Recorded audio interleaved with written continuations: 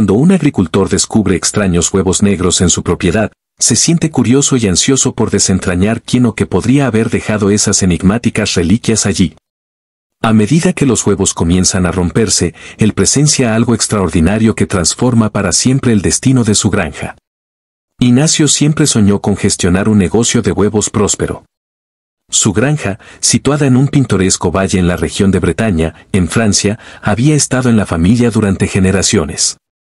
Sin embargo, los últimos años habían sido difíciles, la otrora próspera granja ahora luchaba por sobrevivir debido al aumento de los costos de los alimentos, a la creciente competencia y a la disminución de la demanda de sus tradicionales huevos marrones y blancos.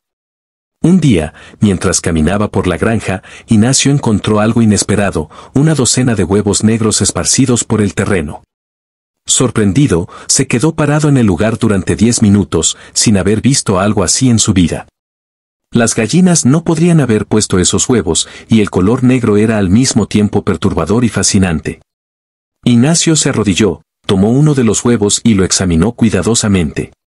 El huevo era pesado y sólido, con una textura lisa que no coincidía con la cáscara áspera de los huevos comunes.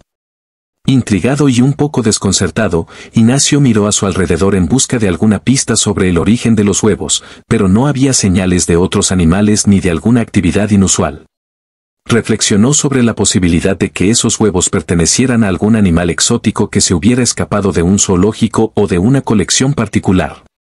Ciertamente, no sabía qué pensar. Por un lado, aquellos huevos extraños podrían albergar criaturas aterradoras e Ignacio tendría que lidiar con eso para proteger su hogar y su granja. Por otro lado, estos misteriosos huevos podrían ser exactamente lo que su granja necesitaba para prosperar nuevamente. Las personas podrían pagar más por estos huevos si significaran dar un toque único a sus tortillas, y tal vez pagarían aún más por la carne de pollo. Podría hacerse rico si estos huevos incubaran pollitos negros, a menos que alguien viniera a reclamarlos antes. Ignacio no era un hombre imprudente, pero esos huevos estaban en su propiedad, y tenía demasiada curiosidad para dejarlos al aire libre donde cualquiera pudiera verlos. Entonces, murmuró una rápida disculpa a cualquier criatura que hubiera puesto los huevos y comenzó a llevarlos dentro de su casa. Planeaba colocarlos en una incubadora que mantenía en la granja, con la esperanza de que los huevos se abrieran y revelaran la sorpresa dentro de ellos. En los días siguientes, Ignacio monitoreó los huevos de cerca, ajustando cuidadosamente los niveles de temperatura y humedad para imitar el calor que los huevos recibirían de una gallina. Todas las mañanas, revisaba los huevos, y su corazón se alegraba al ver las cáscaras negras todavía intactas. Se atrevía a soñar con las criaturas exóticas que podrían surgir de ellos. Sin embargo, a pesar de su emoción, Ignacio se mantenía cauteloso. Sabía que aún había un largo camino por recorrer antes de que los huevos se abrieran. Los días se transformaron en semanas mientras esperaba ansiosamente la eclosión de los huevos negros. La fecha esperada llegó y pasó sin ninguna señal de vida. Diariamente, Ignacio revisaba la incubadora con la esperanza de ver grietas en las cáscaras o escuchar el leve pío de los pollitos, pero los huevos permanecían inmóviles y silenciosos. La tensión dentro de Ignacio aumentaba a medida que los días pasaban sin ningún cambio. Cuanto más esperaba, más comenzaba a dudar de sí mismo. ¿Había cometido un error al traer esos huevos adentro?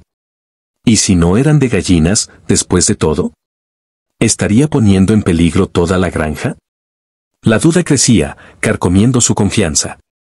La rutina diaria de Ignacio se había convertido en un ciclo implacable de cuidado y preocupación. Se despertaba antes del amanecer y comenzaba el día revisando los niveles de temperatura y humedad en la incubadora.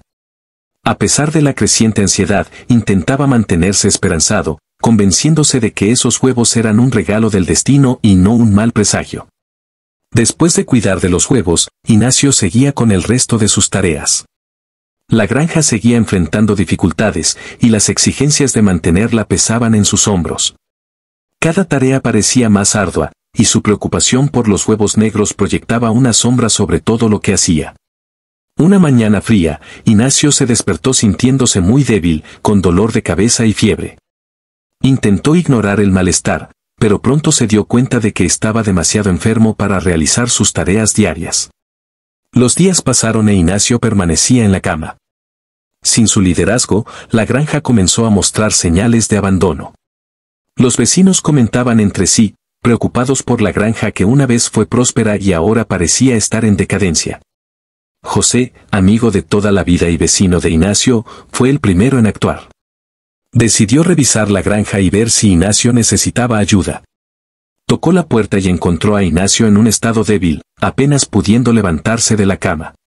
Al percatarse de la gravedad de la situación, José asumió rápidamente la responsabilidad, asegurándole a Ignacio que cuidaría de la granja mientras él se recuperaba. Sin embargo, debido a su estado debilitado, Ignacio olvidó contarle a su amigo sobre los misteriosos huevos en la incubadora. Una noche, mientras José terminaba las tareas del día, escuchó un leve pío que venía del gallinero. Al revisar las filas de nidos, el sonido se hacía más fuerte. Finalmente, al llegar a la incubadora, vio movimiento dentro de uno de los huevos negros. Quedó impactado con la visión. José corrió de vuelta a la casa de la granja para contarle a su amigo que los misteriosos huevos en la incubadora estaban rompiéndose. Ignacio simplemente asintió con la cabeza, diciendo que aún no sabía lo que estaba por venir, pero a pesar de su estado debilitado, sus ojos brillaban con esperanza. Dos días después, Ignacio estaba lo suficientemente bien para levantarse de la cama. Él y José se arrodillaron junto a la incubadora, con los rostros a pocos centímetros de los huevos que se estaban abriendo. Entonces, el primer pollito emergió. Ambos suspiraron de alivio al darse cuenta de que los animales dentro de los huevos eran, de hecho, aves. Sus plumas eran de un negro brillante que relucía a la luz tenue. José rápidamente sacó su celular y comenzó a buscar información en Internet. Estos pueden ser pollitos ayam semani, dijo emocionado. José explicó que estas gallinas indonesias son extremadamente raras y valoradas por sus características completamente negras, incluyendo ojos, pico, plumas y hasta huesos. Los huevos de estas gallinas podían venderse a un precio altísimo. Los pollitos eran increíblemente resistentes, prosperando en condiciones que desafiaban a otras razas. Crecían más rápido y más fuertes de lo que Ignacio esperaba y exhibían una robustez que los diferenciaba. Sus plumas no solo eran negras, sino que tenían un brillo iridiscente que relucía con tonos de verde y púrpura. La noticia de los pollitos se esparció rápidamente y atrajo atención más allá de la comunidad local. Una tarde, Ignacio recibió la visita de un hombre que se presentó como el señor Steven. Era un inversor rico con un gran interés en razas raras y exóticas. Steven había oído hablar de los pollitos Ayam Semani de Ignacio y estaba ansioso por verlos en persona. Ignacio llevó a Steven al recinto especial donde los pollitos estaban alojados. Al ver a los Ayam Semani con sus plumas iridiscentes y comportamiento vigoroso, Steven quedó claramente impresionado. Examinó cada detalle, desde el plumaje brillante hasta la energía de los pollitos.